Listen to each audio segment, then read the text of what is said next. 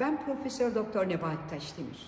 Türkiye'de Diyarbakır Dicle Üniversitesi'nde, Kanada'da Western Üniversitesi Ontario'da, İngiltere'de Queen's Square'da National Hospital'da, Almanya'da Ulm Üniversitesi'nde MS Center'da çalışan, çalışmış olan bir hekimim. Sizlere e, kısıtlı bir zaman içerisinde MS'in klinik seyrinden, klinik formlarından bahsetmeye çalışacağım.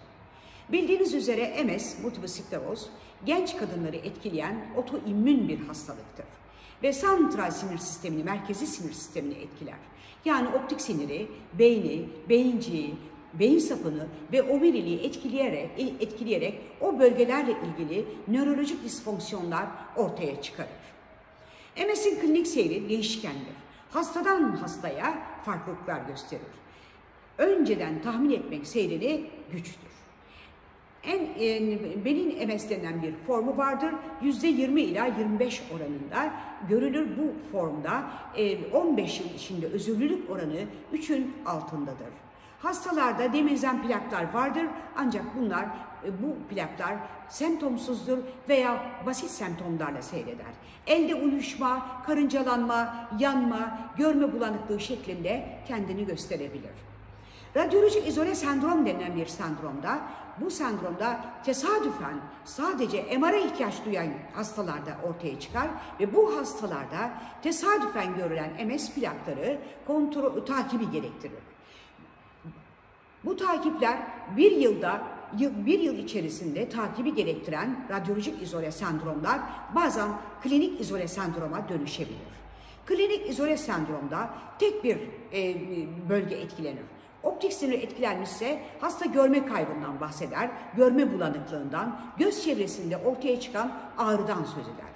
Eğer beyincik etkilenmişse dengesizlikten, beyin sapı etkilenmişse çift görmeden, vertigodan veya konuşma bozukluğundan, omerilik etkilenmişse idrar yapmada zorluktan, idrar güç, e, idrar inkontinasından yani idrar kaçırmadan o, e, rahatsızlık duyabilir hastalar.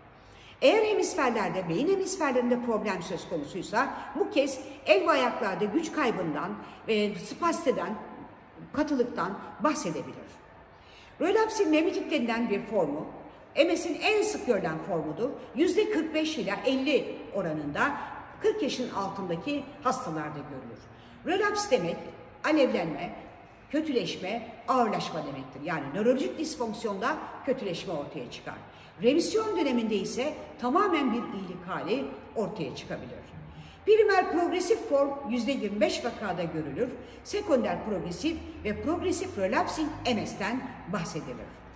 Primer progresif MS'te e, relaps veya remisyon olmadan fiziksel durum gittikçe kötüleşir. Sekonder progresif MS bulgular irreversibel hale gelir. Alevlenmeler sonrasında iyileşme tam olmadığı için fiziksel durum gittikçe kötüleşir. Progresif relapsing MS'te ise progresif olarak başlayan hastalık iyileşmenin bazen tam olduğu, bazen de olmadığı akut relapslar ve kötüleşen aralıklı relapslar ile hızla ilerler. Bu relapsların tedavisi yani alevlenmelerin tedavisi gerekir. Klinik formlar hastadan hastaya değiş, değişken olabildiği gibi hastalığın, e, multiple skleroz hastalığının tedavisi de hastadan hastaya farklılıklar göstermektedir. Hepinize teşekkür ediyorum. Sevgiyle, sağlıkla, hoşçakalın.